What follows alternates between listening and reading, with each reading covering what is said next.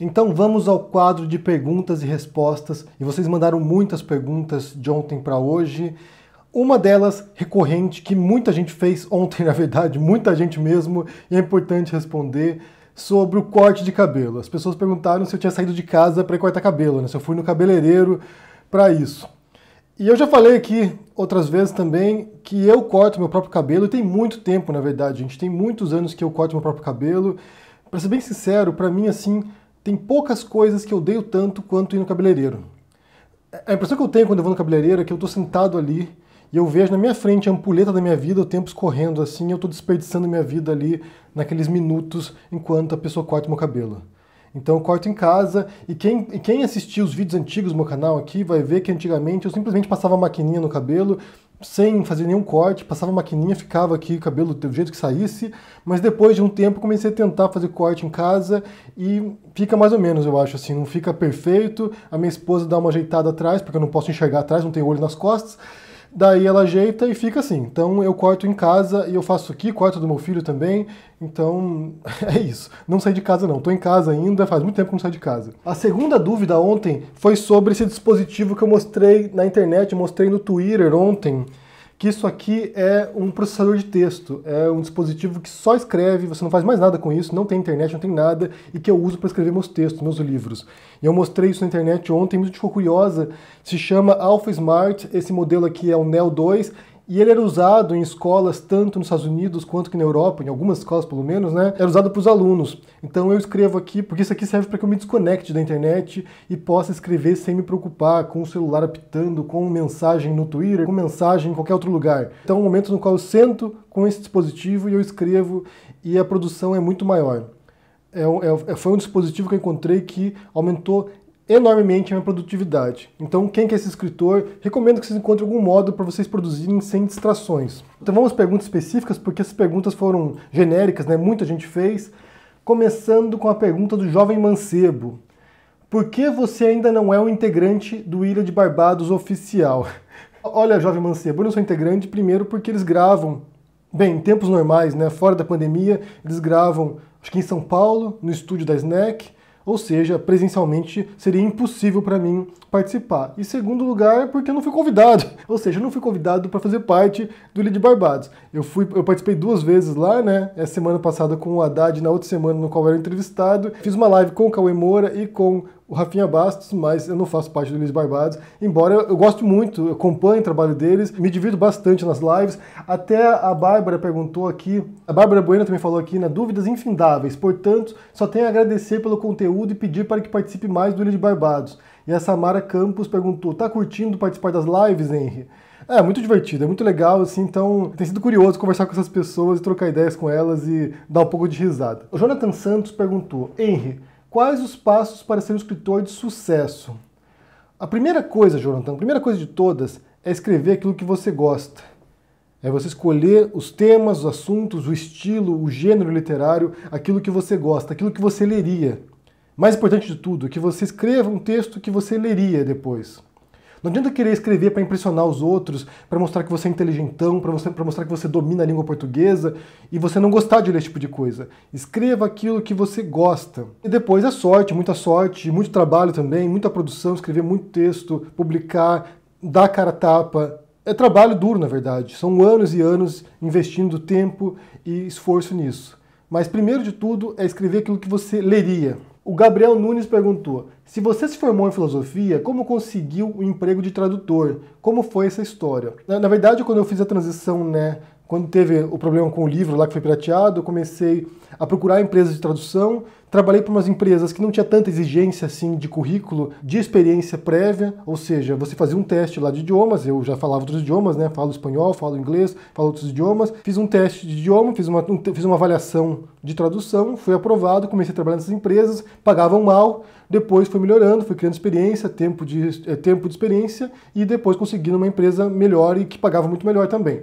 Então foi gradual o negócio e geralmente muitas empresas dessas elas só exigem que você tenha um diploma, porque tem muitas áreas de tradução. Por exemplo, se você for um advogado, você pode trabalhar traduzindo textos jurídicos. Se você for médico, você pode trabalhar traduzindo textos médicos. Se você for formado em filosofia, pode trabalhar traduzindo textos de filosofia. Então tem muitas áreas diferentes. Eu não trabalhava com área de filosofia, trabalhava com áreas genéricas, trabalhava, trabalhava traduzindo textos de empresas aéreas, de cruzeiros, de turismo, de, de, de, cartão de crédito, de todo tipo de coisa pode imaginar. Mas foi um processo, né? Eu fiz a transição e fui juntando experiência até poder chegar a uma empresa melhor. O Luan Gomes perguntou: Henry, eu sei que você é de esquerda, mas que tipo de esquerda? Socialista, progressista, desenvolvimentista, comunista, social-democrata? Abraço.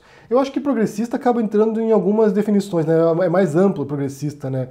Mas eu sou social-democrata, eu defendo o modelo que tem, por exemplo, aqui na Europa, em muitos países, nos países nórdicos, aqui na Espanha mesmo, na França, no Reino Unido, que é um modelo que fornece um estado de bem-estar social para os cidadãos. Não propõe uma revolução, propõe uma mudança gradual, progressiva da sociedade. O Everton Lima perguntou: Tenho acompanhado muito o seu canal, o Meteoro, a Gabriela Prioli e o Eduardo Moreira. Você acha que um dia os novos youtubers progressistas podem ser decisivos para a eleição de um presidente da República? Eu não posso falar por eles, mas eu posso falar por mim. Eu não vou me colar, eu vou endossar candidatos à presidência ou políticos. Eu acho que para mim é um erro isso, na verdade, né? É que você compre um projeto político partidário.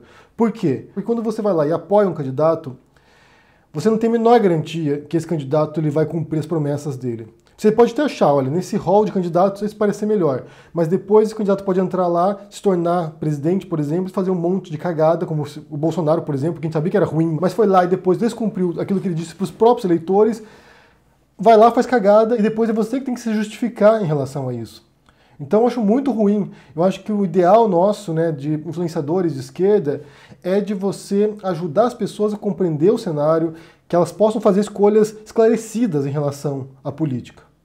Isso é importante, é que você dê as ferramentas, você forneça o material necessário para que as pessoas, por conta própria do outro lado aí, possam fazer escolhas conscientes. Acho que essa é a principal missão. O Renato Sampaio perguntou: Você é ou foi do PT? Como eu disse aqui na resposta anterior, eu não faço parte do partido, não fui do PT, não sou do PT e não seria do PT, e nem porque tem algum tipo de birra particular com o partido, mas porque eu não tenho vínculos partidários não pretendo ter também. O Irishman perguntou: Henry, como você se considera no xadrez? Já pensou em seguir essa carreira? Eu jogo mais ou menos, sou intermediário, eu acho. Não sou ruim, mas também não sou excepcional e eu não segui carreira porque não sou tão bom assim. O Eric perguntou: saudades de Curitiba? Mais ou menos, Eric, não tanto assim. Eu tenho saudades de certos locais que eu frequentava, certos restaurantes que eu gostava de ir, certos pontos específicos e certas pessoas também. Mas não sinto saudade de Curitiba, não. A Dani perguntou: quanto você está ganhando nesses últimos meses no YouTube? É uma pergunta indiscreta, Dani. Eu não vou responder, obviamente, quanto que eu faço no YouTube, mas quando começou a pandemia, eu conversei com o gerente de conta aqui, né, que é quem assessora no YouTube, né, que é um funcionário do YouTube que dá o suporte e, e ensina técnicas também para melhorar o canal. E essa foi uma preocupação, né, se despencaria muito a renda do canal nesse período. E ele disse que certamente cairia bastante, porque assim, aqui no YouTube você ganha por anúncios, né? São os anunciantes aqui que aparecem nos vídeos, que pagam os youtubers, e a cada mil visualizações eles te pagam um valor. E ele disse que esse valor cairia certamente porque muitos anunciantes grandes deixariam o YouTube, empresas aéreas ou empresas de turismo que são grandes anunciantes deixariam o YouTube. Então, ele disse que certamente cairia esse valor para cada mil visualizações, mas que, por outro lado, pelo fato de ter pessoas em casa assistindo mais YouTube, aumentaria o número de visualizações, aumentaria o número de pessoas assistindo os canais, e isso poderia compensar a perda do valor dos anúncios. E de fato aconteceu isso, então acabou meio que equilibrando. Mas eu conversei com ele essa semana, com o meu gerente de contas, e ele disse que muitos youtubers perderam a renda drasticamente. Por exemplo, youtubers de esportes, que falam de futebol, por exemplo, eles não têm assunto mais. Então muita gente está preocupadíssimo. Youtubers de viagem, por exemplo, também. Então alguns segmentos de fato viram uma queda brusca, drástica no seu faturamento, mas no meu caso em particular, porque a gente fala de política e da pandemia também, acabou ficando elas por elas. Então aqui, por enquanto, está tranquilo. Eu acho que o mês de maio pode ser mais complicado. Então a gente está preocupado, mas tem que esperar para ver o que vai acontecer ainda nesses próximos, eh, nesses próximos dias e semanas. O Rodrigo S. Moreira perguntou: Henry, quando a esquerda voltar ao poder e as coisas voltarem ao normal, você continuará falando de política? Primeira coisa, Rodrigo, eu não sei se a esquerda volta ao poder tão cedo. para ser sincero para você, que eu já falei isso anteriormente, eu acho que a contaminação ideológica que fizeram em relação às esquerdas foi muito forte, muito impactante, e vai levar muito tempo para tentar sanear esse debate político. Eu imagino que numa próxima eleição vai ganhar alguém de direita de novo, é, ou de extrema direita também, que acho que é o pior dos cenários. Mas se voltasse à esquerda, eu também falaria de política, porque sempre tem algum tipo de treta política para a gente debater. Sempre tem alguma coisa que está rolando, algum discurso, alguma figura bizarra da política. Então, de fato, eu continuaria falando sem, sem me focar no Bolsonaro, porque o Bolsonaro vai desaparecer, espero, mas continuaria assim, de outro modo, possivelmente, de uma maneira bem menos horrorizada com os rumos políticos. Alice Sarmento perguntou: Como você aborda questões de filosofia com seu filho? Tem algum bom livro que aborde o tema interessante para o público infanto-juvenil? Alice, meu filho tem seis anos, eu não falo de filosofia com ele, eu não sei nem se ele compreenderia. Principalmente porque a filosofia ela tem muito a exigência do pensamento abstrato. Isso é algo que se desenvolve a partir da adolescência. Então, o esforço que eu faço com ele é de sempre, quando ele fala alguma coisa, é perguntar por quê, na verdade, né? Por quê? Por que você quer isso? Então, é estimular a crítica, mas é óbvio que ele é muito pequenininho ainda, então não tem esse tipo de reflexões filosóficas, né? Ainda não faz isso. O Arthur Monteiro perguntou: o bom escritor é hábil em linguística, habilidade essa não identificada a ser satisfatória em seus contos.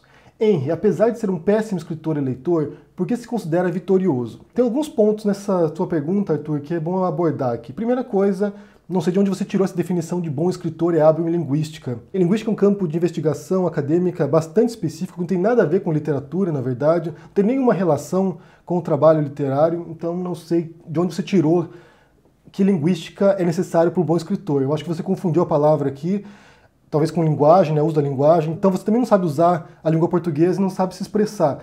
Mas, por outro lado, vou te contar um segredo aqui. Eu acho que você se refere ao livro A Empresa Minha Mão Esquerda, que eu publiquei recentemente, eu acho que você comentou, se não me engano, no canal. Os contos desse livro, quase todos, na verdade, foram produzidos em oficinas literárias. Ou seja, muita gente competente, escritores que eu conheço e cujo talento eu respeito bastante, cuja opinião também respeito bastante, leram esses textos, comentaram esses textos, criticaram esses textos e eu pude ir aperfeiçoando nesse processo. Alguns textos, inclusive, foram escritos durante um curso de escrita criativa da PUC do Rio Grande do Sul, que é o melhor curso de escrita criativa do Brasil e passou por grandes escritores premiados que leram os textos. Então, se eu fosse me fiar na opinião de alguém, eu me fiaria na opinião de uma pessoa que conhece mesmo literatura, escritores premiados e que leram os meus textos e elogiaram. não sei quem é você, não tenho ideia quem seja você, então, sinceramente, você dizer que é ruim ou bom não me diz nada. E além disso, alguns desses contos também foram publicados em revistas estrangeiras no Brasil. Eu tenho um editor hoje que é o Salvio Nincotter, que é da editora Cotter Editorial, que é um tremendo de um editor, então ele lê os textos e ajuda a melhorar, não nesses contos particulares, mas em outros textos. Então é importante ressaltar, na verdade, que até uma dica que eu deixo para quem quer ser escritor é participar de oficinas literárias, que vocês aí se juntem com outros escritores, participe desses trabalhos de produção textual, porque isso ajuda você a crescer bastante, ajuda você a lidar com a crítica, ajuda você a se aperfeiçoar. É essencial. E quando você tem escritores competentes que podem fazer isso, também ajuda bastante no seu processo. Outro segredo que eu quero te contar é que ninguém precisa ler meus textos. Se você leu e não gostou, tem uma ótima notícia para você. Existem milhões de escritores no mundo, existem milhões de textos no mundo, milhões de livros no mundo. Não gostou? Segue para o próximo. Segue pro próximo. Tem grandes autores no mundo que eu já li e não curti tanto assim. Tipo, ninguém é obrigado a gostar do que eu escrevo. E não tem nenhum problema nisso. Não tem nenhum problema nisso. O que eu faço, isso sim, é escrever o texto que eu gosto, como eu disse no começo, escrever aquilo que eu gosto, aquilo que eu leria para um público que eu sei quem é e que vão ler o texto e vão se identificar. Talvez você não tenha gostado porque não, não te diz nada. Eu não tenho o menor problema. Procure outro autor. Procure outro autor.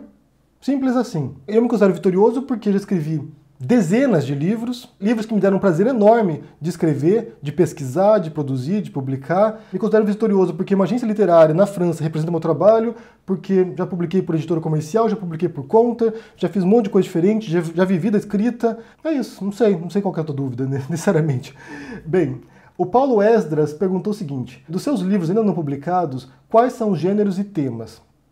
Eu tenho muita coisa não publicada ainda, Paulo, um deles que eu quero publicar em breve, talvez, estou pensando aqui, é um livro chamado Cassandra, que é sobre a Cassandra de Troia, a profetisa grega, que previa o futuro, dizia o que estava vendo e ninguém acreditava nela. Mas eu tenho que dar uma relida nele ainda, tenho que dar uma analisada no que está lá dentro. É um livro satírico, é um livro de comédia. O Matheus Mesquita perguntou: Henry, você sente orgulho do homem que você se tornou hoje? Eu acho que sim, Matheus.